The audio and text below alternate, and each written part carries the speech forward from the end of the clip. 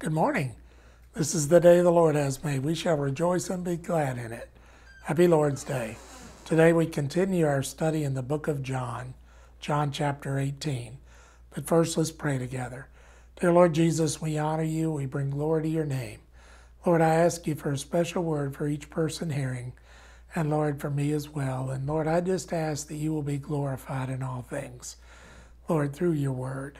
Now, Lord, I lift up the prayer requests on people's hearts.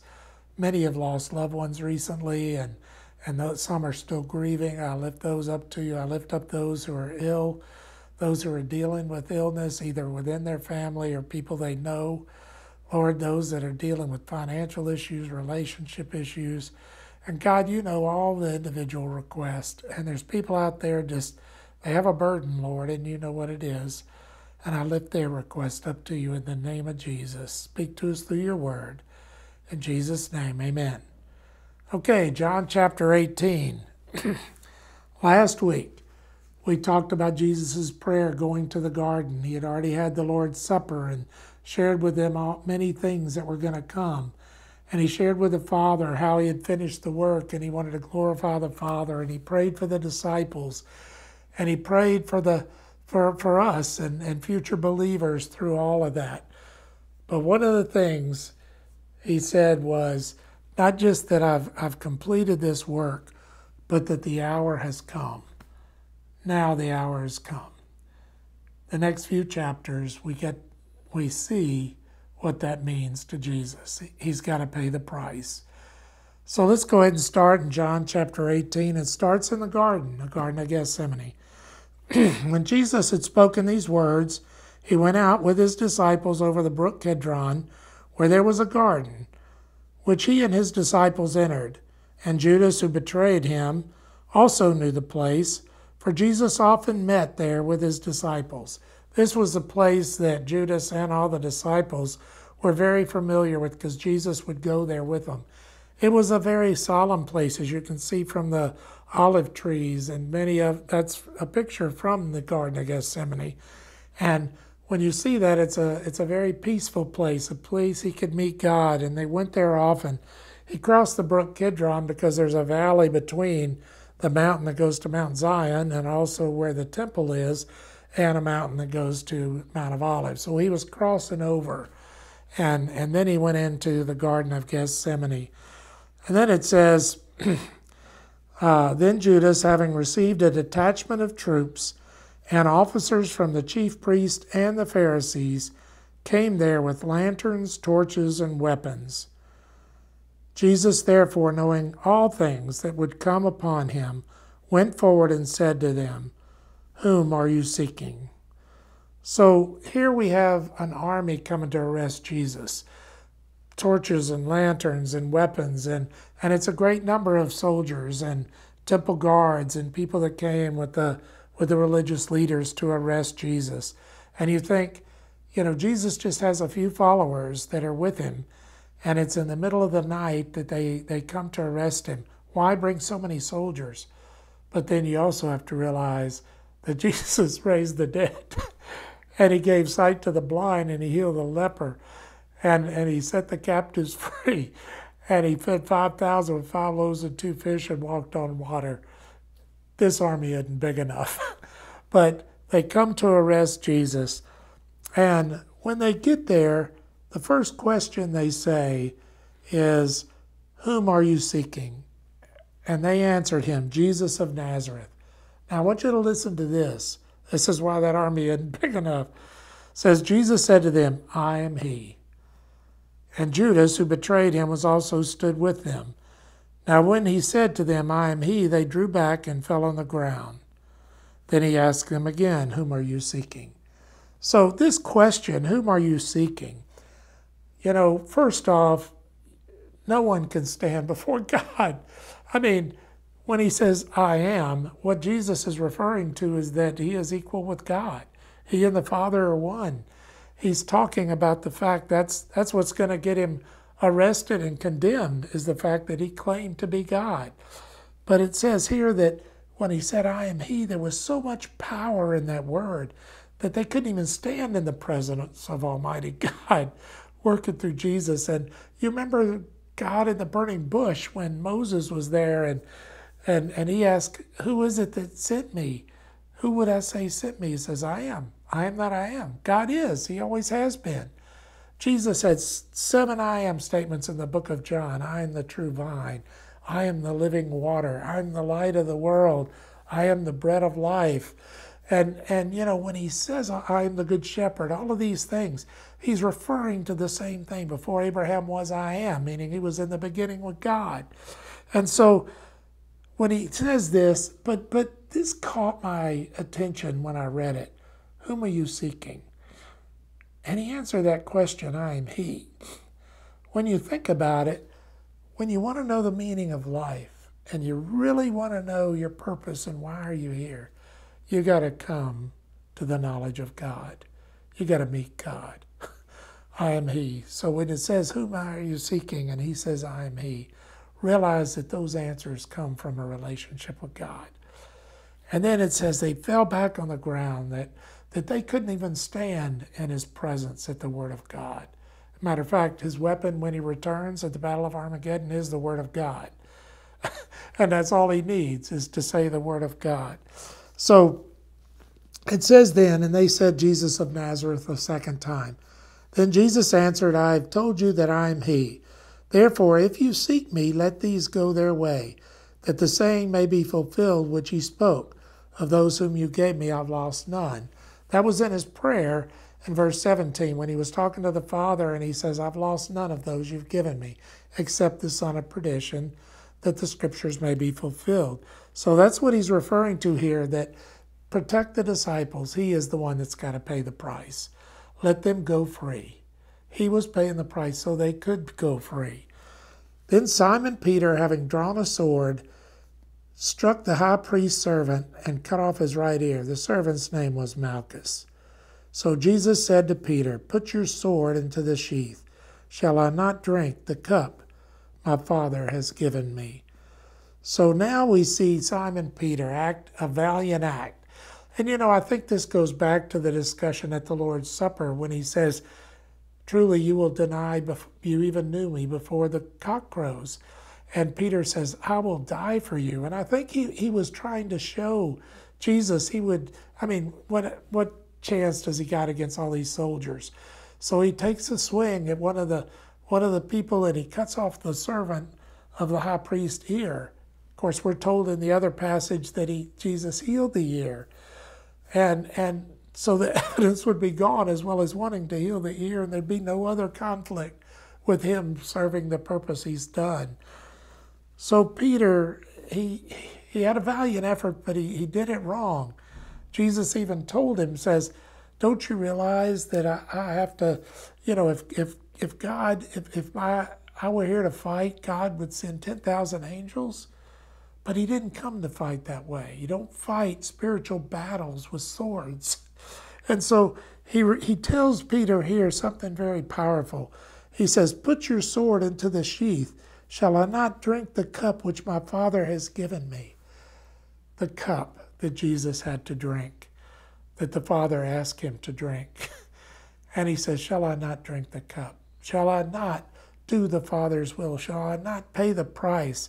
I want to give you a little bit of taste of what this cup is. You know, and uh, this is from Luke chapter 22. It says, And Jesus was withdrawn from them about a stone's throw and he knelt down and prayed, saying, Father, it is your, if it is your will, take this cup away from me. Nevertheless, not my will, but yours be done. And being in agony, he prayed the more earnestly that his sweat became like giant drops of blood falling to the ground. So Jesus, having to drink this cup, caused him to sweat drops of blood and be in agony and turmoil because of this cup. And he asked three times, Take this cup from me, but not my will, but your will be done. So, what is this cup? And you know, we're told a little more about this in the other Gospels, where at one time Jesus, James and John's mother had gone to Jesus and asked that, that her son sit at his right hand and left hand in heaven. And he, Jesus says, You don't know what you're asking. Are you able to drink the cup that I have to drink? You know, when Jesus said that, he says, You know what it takes to sit on that throne? You know what I got to do to be able to get on that throne? And he's referring to the fact of the cup. Now, he had just offered the disciples the cup of redemption, but to offer them redemption and us redemption, he had to drink a different cup. What is this cup that caused him to be in such agony and such torment that he sweat drops of blood? Because our eternity was at stake. What the Father asked him to do was pay our sin debt. What the Father asked him to do was to become sin for us and pay our debts. But can you imagine the cup full of all the dregs of the world, all the sins of the world, and, and the judgment of God? The wrath of God is in that cup to, to, to judge all of those sins, and yet he had to drink it. But for the joy set before him, he endured the cross, despising the shame because of the joy set before because he realized that was our freedom. The only way to set us free is if he paid that price. He had to become separated from the Father and, and had to become that which is detestable to God so that we could be set free. It was the punishment he was going to go through. So he sweat drops of blood, and I think part of that reason is because he had the weight of the world on his shoulder. But if you want to know how much weight and stress was on Jesus at that time in agony, it says even an angel had to strengthen him. He was under such agony. But but he, all of our eternities was at stake at that moment. Our, our eternal life was at stake. There's no way we'd have eternal life if he didn't go through with this. So he had to drink all of our badness, all of the things that, that we have done. All have sinned and fall short of the glory of God. Shall he not drink the cup? he came to drink the cup. You know, Jesus was not captured or taken. Jesus surrendered. Then the detachment of troops and the captain and officers of the Jews arrested Jesus and bound him. And they led him away to Annas first, for he was the father in law of Caiaphas, who was the high priest that year. And it was Caiaphas who advised the Jews that it was better or expedient that one man should die for the people. So they arrest him and they bound Jesus. But he had asked the others go free. But Peter and another disciple followed a distance behind to see what would happen. But here it says he went to Annas first. Annas was the father in law of Caiaphas, who was the high priest, and Annas was the previous high priest. So, as a sign of respect to the former high priest, they let him try Jesus first, question Jesus first. Then they would send him across the courtyard into the Sanhedrin court to be tried by the Sanhedrin. But it's interesting because it mentions Caiaphas is the one, and this is in the story of raising Lazarus, where the Jews said, and, and Caiaphas finally threw up his hand and says, Now we got to kill him. Be better for one man to die than the whole world perish, not realizing he actually prophesied that Jesus would die for the world. It is better that Jesus die because the whole world would perish if Jesus didn't die for us. So he actually prophesied that. Then it goes on and it says, And Simon Peter followed Jesus, and so did that another disciple. Now that disciple was known to the high priest, and went with Jesus into the courtyard of the high priest. But Peter stood at the door outside. Then the other disciple, who was known by the high priest, went out and spoke to her who kept the door and brought Peter in. Then the servant girl who kept the door said to Peter, You are not are you you are not also one of his this man's disciples, are you? And he said, I'm not. So who was this other disciple? And most people believe that have studied the scriptures because that's that's what John refers to himself many times, not by name. And he would have mentioned the name if it was somebody else. So many believe it was John. He was he was known by the high priest, and this lady knew he was a disciple, so she asked Peter when he came and said, You can let him in too. And he, he got into the courtyard. She asked, Are you one of his disciples too? And that's the first time Peter denied him, saying, I am not. See, Peter's in, in, in the wrong territory here, with the wrong company here. Now we're going to, it says here, now the servants and officers who had made a fire of coals there for it was cold, and they warmed themselves, and Peter stood with them and warmed himself. So here we see Peter residing by this fire because it's cold outside, and he just sits there with the other people. And, you know, he, he, you ever feel like a fish out of water, like you don't belong with this crowd? I think Peter felt that way because they were all looking at him and, and would ask him questions later. But now we go back to the trial of Jesus. So we go back to Jesus. The high priest then asked Jesus about his disciples and his doctrine. This is Annas, the former high priest. Jesus answered and said, I spoke openly to the world. I always taught in synagogues and in the temple, where the Jews always meet, and in secret I have said nothing. Why do you ask me? Ask those who have heard me what I said to them. Indeed, they know what I said. So Jesus basically said, I always spoke openly. In fact, Annas probably got all the reports and knew quite well what Jesus said. But what Jesus said is very powerful. He said, I always spoke openly. I never hid my doctrine. He even went in the temple and shared in their backyard. And he's saying that he didn't keep anything secret. He, he, he made it aware to everyone. But then he says, ask those who have followed me. If you really want to know what a leader's like, ask those who follow him to see what he's like. You really want to know what Jesus is like? Ask someone who follows Jesus.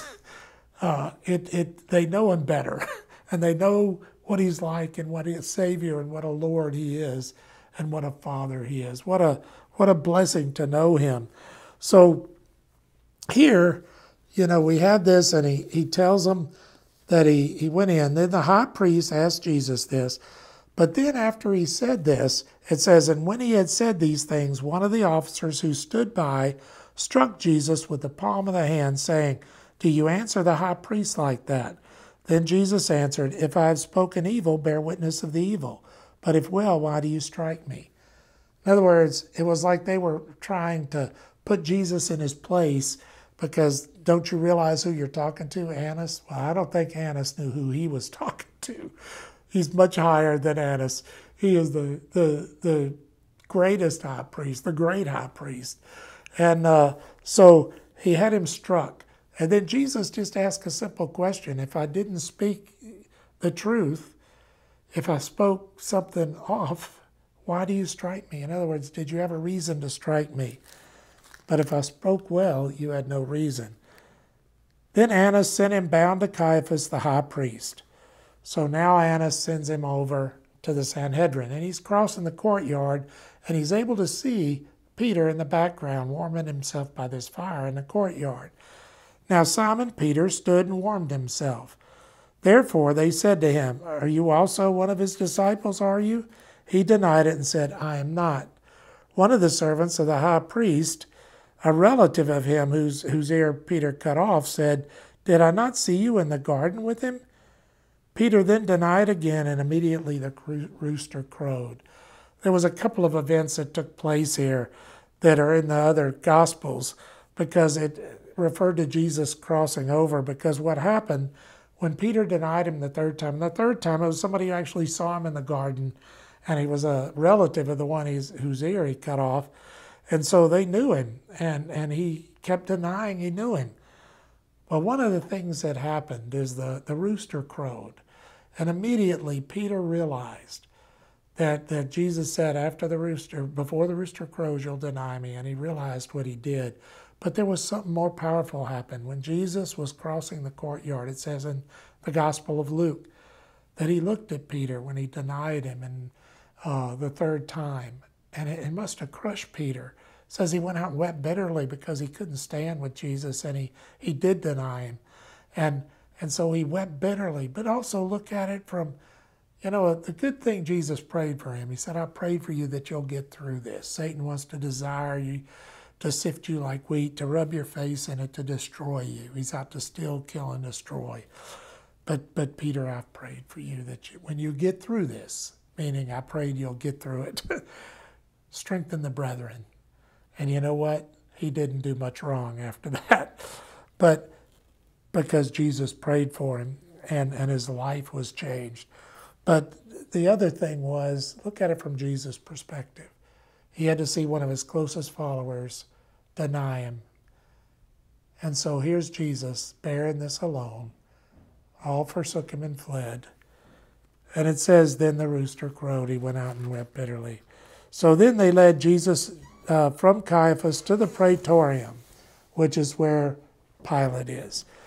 And it was early morning, and they themselves did not go into the praetorium lest they should be defiled, but that they might eat the Passover. Pilate then went out to, to them and said, What accusation do you bring against this man? So here comes the Jews coming into Roman territory in the hall of the Romans, going from Jewish uh, property to Roman property, and they didn't want to enter so they wouldn't be defiled. And the reason for that is because they wanted to, to celebrate the Passover, and they felt like they'd be defiled touching Gentile territory. So Pilate has to come to them, and Pilate comes to them and says, Okay, what crime has he committed? And then it says, They answered and said to him, If he were not a criminal, we would not have delivered him to you. Well, now they're just saying, Well, if he wasn't, didn't do something wrong, we wouldn't be giving him to you. So then Pilate said to them, Then you take him, judge him according to your law. Therefore the Jews said to him, It is not lawful for us to put anyone to death, that the saying of Jesus might be fulfilled which he spoke, signifying by what death he would die. So now he realizes that uh, that the reason they're bringing him to him is because they want Pilate to put him to death. They want the death penalty, and they can't do that in the Jewish law. And uh, then Pilate entered the praetorium again and called Jesus and said to him, Are you the king of the Jews? So he goes back and he calls Jesus into Roman territory, into the Roman ground, and Jesus goes in there. So why was it okay for Jesus to go in there and not the other Jews? Because they didn't want to be defiled. You know why? Because Jesus didn't come just for the Jews, he came for the Gentiles. He doesn't care what it takes to get the Gentiles to the gospel too. Amazing. So he says, Are you the king of the Jews? Because one of the, after he they told him that if he weren't a criminal, he says, Look, you can't, you judge him according to your law. They told him three things that, that he did. He subverts the nations, he perverts the nations with his teaching because they didn't agree with it. He fails to pay taxes to Caesar, which wasn't true because we're told in Scripture how he paid taxes. Peter was told to take a coin out of the fish's mouth and to pay their taxes. So we know he paid taxes and that he makes himself out to be a king and doesn't follow uh, the, the Romans. So that's why he's asking him, Are you the king of the Jews? Then Jesus answered, Are you speaking for yourself about this? Or did others tell you this concerning me? The king of the Jews. And then it says, Pilate answered, Am I a Jew? Your own nation and your chief priest have delivered you to me. What have you done? Jesus answered, My kingdom is not of this world. If my kingdom were of this world, my servants would fight. So I, that I should not be delivered to the Jews. But now my kingdom's not from here. You know, Pilate deals with criminals all day long, and yet he's got one here that answers questions like that. I'm not of this world. If I were of this world, my servants would fight. And, uh, and so that goes back to him saying, We're not of this world. You know, but it's, then he says, Pilate therefore said, Oh, so you are a king. So he said, Yeah, I'm a king, but I'm not of this world. I'm from a different world. I'm fighting for a different kingdom. Pilate therefore said to him, So you are a king. Jesus answered, You say rightly that I am a king. For this cause I was born and for this cause I have come into the world, that I should bear witness of the truth. Everyone who is of the truth hears my voice. Pilate said to him, What is truth? Truth was on trial. Jesus said, I am the way, the truth, and the life. No man comes to the Father except by me. The Bible says it's only the truth that'll set you free. And if the Son sets you free, you're free indeed. Jesus is the truth. And he came to bear witness of the truth. He came to show us the truth, the reason to live.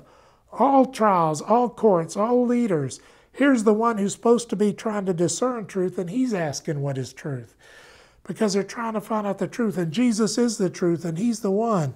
And he is a king. and he came to the world, and that's the truth. You know, and so Pilate said to him, What is truth? And he went out again and he, he told the Jews and said to them, I find no fault in him at all. In other words, he's not guilty. You know, the Holy Spirit is called the Spirit of truth. And in chapter 17, it says, Thy word is truth. Everything around him is truth. You want to know the truth? Read the word. You want to know the truth? Come to know the Holy Spirit. You want to know the truth? Accept Jesus. He is the truth, the way, and the life to understand the meaning of life. So after this, at some point, he sends Jesus back to Herod Antipas, who was in town at that time because he found out he was from Galilee. Herod also finds no fault in him. And you always hear, no fault, just man, righteous man, he's done no wrong. And he's sent back to Pilate. But in the meantime, his wife came and said, Have nothing to do with this just man. I've suffered much in a dream because of him. So he keeps hearing this. This is someone you don't want to deal with. So Pilate's trying to find a way to get out of this. And as we close chapter 18, in verse 39, it says, But you have a custom that I should release to you someone at the Passover. Do you therefore want me to release to you the king of the Jews? And they cried out again, saying, Not this man, but Barabbas. Now, Barabbas was a robber. It says in another passage, he was a notorious criminal. He was well known as probably one of the worst criminals. And, and, and so they picked one of the worst ones they could find to bring up because it was a custom. They would pardon a prisoner as a sign of goodwill to the Jews every Passover. And so he's got this opportunity and he says, surely they'll pick Jesus. But to his dismay, the crowd called out for Barabbas and uh, to crucify Jesus. But the, it says the chief priest stirred up the crowd. But this is early morning, real early his followers didn't really know what's going on. So, so these are people, if the religious leaders tell you to ask for Barabbas, they think that's the right thing to do. So they asked for the one that was the criminal to be set free and let the one who was innocent, the one who's done no wrong, to pay the price. But you know, this is a good place for us to end today because you look at it, you have Jesus or Barabbas. One pays. Here, the guilty is set free, the innocent pays. But that's a picture of us. Because in Romans 5 8, it says, But God commended his love for us, or demonstrated his love for us, and that while we were still sinners, Christ died for us. Because the only reason we get set free, we are like Barabbas. You know, we're guilty. But he came into this world. This is part of building his kingdom that is not of this world. He had to pay a price that wasn't his to set us free. So Jesus pays our debt. We get to go free. God bless you. Have a blessed week. Let's pray. Thank you for paying our price. Thank you for the truth and showing us the way to live and what is the truth. Thank you for sending the Holy Spirit. Thank you for, for drinking the cup. We love you, Lord. In Jesus' name, amen.